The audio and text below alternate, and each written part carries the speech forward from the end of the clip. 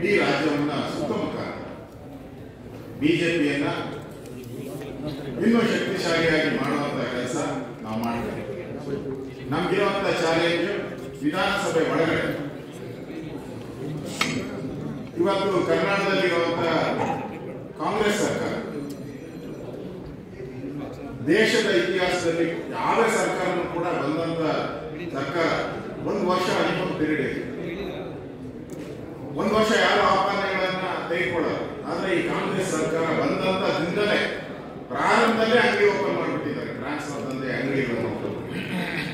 ಭ್ರಷ್ಟಾಚಾರ ಸ್ವಜನ ಪಕ್ಷಪಾತ ಇವತ್ತು ಕೂಡ ಮುಖ್ಯಮಂತ್ರಿಯ ಮಗ ಟ್ರಾನ್ಸ್ಫರ್ ದಂಧೆಯಲ್ಲಿ ಪಾಲ್ಗೊಂಡಿರೋದು ಈ ಮೂರನೇ ಬಾರಿ ಬರ್ತಾ ಇದೆ ಮಾತಿದ್ದೆ